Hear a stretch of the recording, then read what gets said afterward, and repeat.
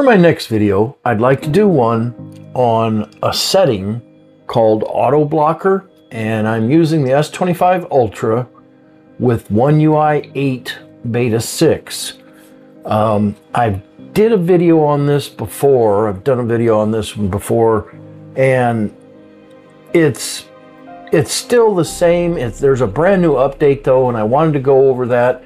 It's it still acts and works the same, but there's a few additional little tweaks and add-ons. So I kind of wanted to make this like a part two and go over it all again because um, there was a couple people I know that didn't understand um, how this works. So let's go ahead and dig right in and get this rolling. So we want to go down into settings and then look for security and privacy.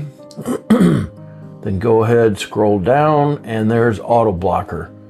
Now there's more to this than just the on or off. So this is where it gets interesting and I don't believe I covered this in the past. So this is your basic setting. setting.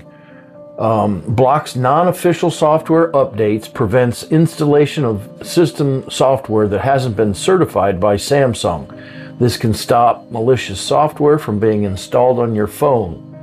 Maximum restrictions provides extra strong protection for people who may be in the targets of sophisticated cyber attacks. Most people don't need this level, level of protection. If you turn this on, some of your phone's features will be restricted. That's actually an option. There's no on or off next to it. Uh, and I missed a lot of it. So let's start over here. So auto blocker helps keep you safe from security threats, suspicious activity, and private risk blocks apps from unauthorized sources. Only apps from the authorized sources, such as Play Store and Galaxy Store, can be installed. So you can't, if that's on, if this is on here, um, you can't side load apps anymore with this on. This is the important one. Blocks commands by USB cable. Malici malicious chargers, computers, and other devices won't be able to send commands to your phone when connected using a USB cable. So, for example, I know two devices just off the top of my head that one of them is a cable. It works like a cable, it acts like a cable, but when you plug it in, it's also a keylogger, which means everything you type is recorded inside that tiny little cable. And it's not tiny, it's a normal size cable, but everything in there is very, pretty small. So it's recording all that information. It's a keylogger, um, it's a password hacker, and all it is is just a key, uh, a, a, cord. Um, the other one is uh, USB sticks. So they look like your regular memory stick, and what they are, they have a bunch of capacitors in it that when you plug it in, best case scenario, you never will be able to use that port again. Worst case scenario, it fries your device. And these are actual items that you can get right now. Um, they're very common in the hacking world. So this is a this is something that just alone is worth it for me in case someone ever tries something like this or you have your phone off or even on and it has it's locked um, and you want somebody wants to get into it and you don't want them to this is a way that people use to brute force your phone is by plugging in a device to your phone um, to get the password and this will stop that. So this is really a useful feature. I'm not 100% sure this was on the last update um, I don't remember it, or I would have went over it a little more, but maybe it was, and I just missed it.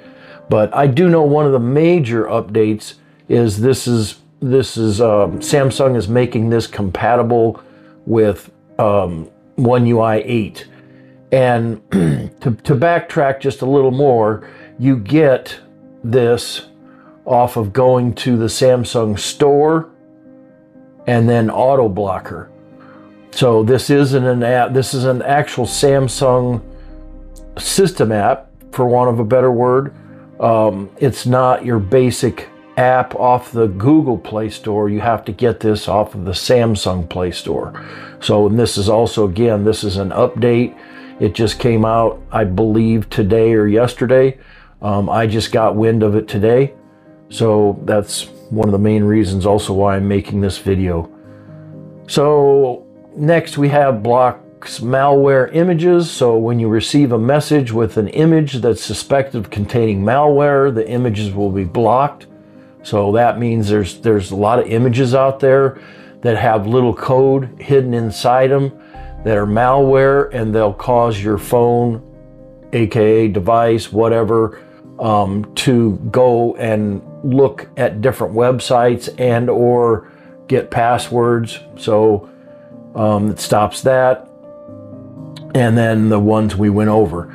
Now, this one, maximum restrictions, like I said, is an actual selection. I don't know why they don't put a, a, a, button on it like they do on everything else, but that's how you can miss this really easily is maximum restrictions. Um, go ahead and tap that, and now we have several more options. So block devices, admin page, admin apps, prevent device apps, admin apps to work profiles from being activated on your phone. So this protects you from attacks where these features will be used to access your data remotely or remote control.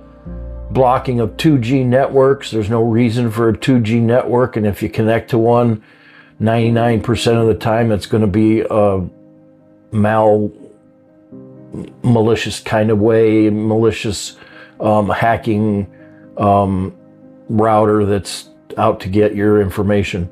So, um, block auto reconnection to non secure Wi Fi networks. I believe that is new. Um, prevent your phone from automatically connecting to non secure Wi Fi networks that you've used in the past. So, that's something you don't want to connect to a Wi Fi network that's not secure. If it's not secure, like say you're out and about somewhere and you're in an airport and you need internet and you connect to a a device and it's not secure, they have access now to your entire phone. So everything you have on your phone can be downloaded from that unsecure Wi-Fi connection. So it stops that. Um, Gallery blocks shared albums. I don't have to worry about that because I'm not sharing albums. Um, if I want to share a picture with somebody, I'll share it with them or text it to them. I'm not going to keep all my pictures accessible to anybody over Wi Fi, um, family members included. So I suggest not even having that on. Um, removes location data when sharing pictures. So when you send a picture to somebody, there's metadata on it that's tagged information inside that picture, which tells you what the fil- what the camera is, what the film rate is, what the focal lens was, where the picture was taken. All this information is embedded in every photo. With this, you'll remove the location data. Um, when you share a picture from the gallery, location data will be removed from the picture before it's sent. This prevents the recipient from being able to determine where your picture was taken. So you can even give away your position if your GPS is off. Of course, you're going to give your position away if somebody wants it regardless. But if you don't want somebody to know where a particular picture was taken, this will strip that information off of it. So I'm going to leave both of these on. They're both pretty neat options. So I hope you found my video to be helpful. Thank you for being here. Please click like and subscribe to my channel. Leave me a comment down below. Thank you for your time. And until next time, I'm out.